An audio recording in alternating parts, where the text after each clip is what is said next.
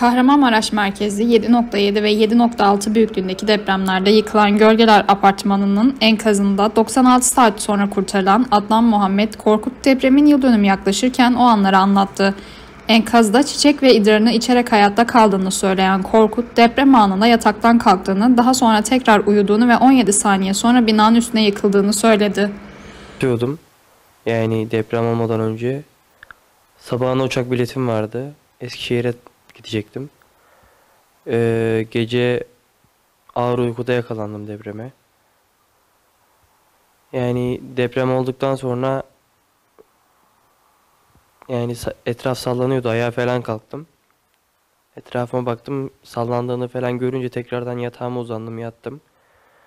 Yatınca da bir 17-20 saniye sonra bina üstüme çöktü.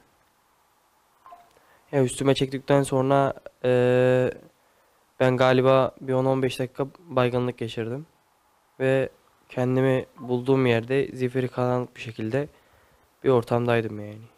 Bina üstüme çökmüştü. İlk önce sabaha kadar uzanır pozisyonda yani yatar pozisyonunda yatıyordum. Altımda masa vardı. Yemek masası altıma gelmişti. Ben kanepe takımında yatıyordum. Ama altımda yemek masasını buldum. Onun altında da petek vardı. Ee, işte sabaha kadar hatta telefonum işte alarm çalmıştı sabah. O şekilde telefona ulaşabildim. Yani sabaha kadar mecbur bekliyordum uyanık bir şekilde. Ee, olayı hala anlamamıştım. Sabah işte telefon çalınca telefonun alarmı. Çünkü Eskişehir'e gidecektim. Alarm kurmuştum. Telefonun alarmı çalınca telefonumu buldum. Telefonumu çıkardım. Telefonumu bulduktan sonra şebeke çekmiyordu. Herkesi aradım, mesaj attım.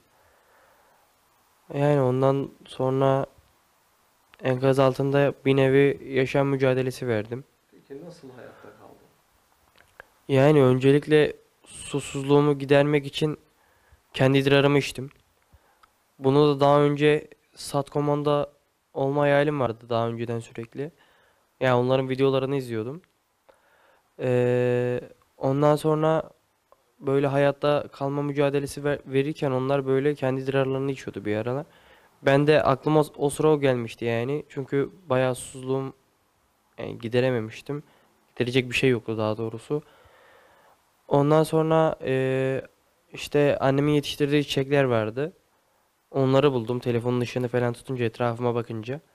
Onları gördüm. Onları yemek zorunda kaldım. 5 gün kaldım. Çünkü inancımı hiçbir zaman yitirmedim. Kendime ve aileme verdiğim sözlerden dolayı eee Allah'a olan inancımı hiçbir zaman yitirmedim. Ondan dolayı da eee Allah da yani bir nevi aşağıda yardımcı oldu bana. Şükürler olsun. Yani inancımı yitirmedim. Enkaz altında e, öncelikle ailemi düşündüm. Yani ilk önce onlara kavuşmayı düşündüm yani. Sonra işte bu futbolumu düşündüm. Eş- Eskişehirspor'a transfer olacaktım. Orada gidip oynama nasip olmadı işte öyle düşünce falan diye. İlk önce aileme kavuşup işte onları görmek sağ salim bir şekilde bir şey olmadan. Çünkü onların da yaşamın yani yaşadığını bilmiyordum. Bir haber alamıyordum. Aşağıda olduğum için. Yani yukarıdakilerin seslerini duyabiliyordum. Yani en başından söylemek gerekirse gece en son abim vardı. En son saat iki buçukta onunla konuştum gece. Ee, o uçak biletimi falan kesti. Sonra e, annem de migreni çıkmıştı. Migren hastalığı vardı. Hastanedeydi o. Hastaneye gitmişti. Ondan sonra ben de dedim hani yatayım dedim. Telefonu başıma koydum. Alarmı kur, alarmımı kurdum. Ondan sonra derin uykuya daldım. Ağır uykuda sonra enkaza yakalandım. Depreme daha doğrusu. Sonra ayağa kalktım baktım bina ve her yer sallanıyor. Ama hani bilmi- bilmiyordum. Hiç deprem yaşamadığım için aklıma gelmiyordu hani depremin olduğu. En sonunda baktım acayip derecede sallanmaya başlayınca kendi yatağıma tekrardan yatıp yorganı falan tekrardan üstüme çekip köşeye sığındım işte. Ondan sonra 17-20 saniye sonra bina çöktü. Bina çökünce ben hiç yani ezilmedim. Çünkü etrafıma baktığımda bir yaşam alanı vardı. Galiba boşluk boşluğun olduğu yere düşmüşüm ama koltuğun üstünde yatıyordum dediğim gibi. Kendimi yemek masasının üstünde buldum. Enkazın altında kaldığımda.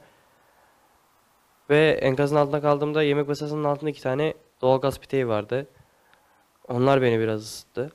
Üstümde yorgan, altımda yastıkla o şekil beraberdim.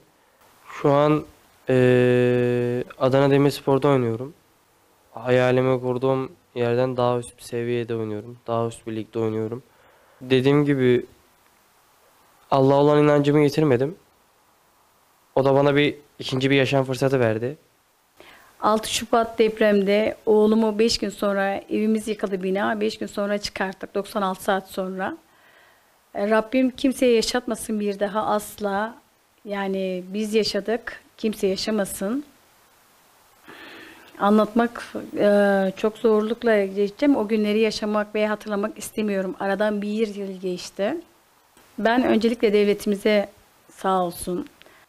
Oğluma sürpriz yapmıştım. Dedim ya gerçekten de kimseyi Rabbim ne evsiz yuvasız bırakmasın. Yani insanlar öyle güzel insanlar biriktirmişim ki hepsini kocaman kocaman buradan saygılar sevgiler sunuyorum.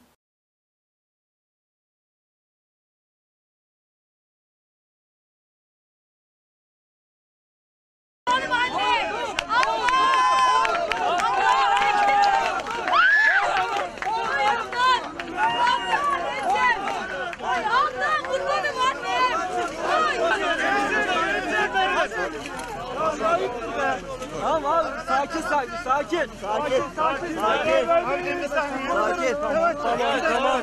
Hadi oğlum. Hadi oğlum. Hadi devam et. Yavaş. Allahu Ekber. Bir dakika. Yasemin abla. Allah için. Yasemin benim kan kardeşim. Hadi oğlum. Tuvaletimi, gel kendi tuvaletimi yaptım, tuvaletimi içtim. Hayatta kalmak için. Şöyle bir şey yapalım. Yanına Böyle hayatta durabildim yani Rabbimiz. Adnan geçmiş olsun. Nasılsın? İyiyim abla. Alo.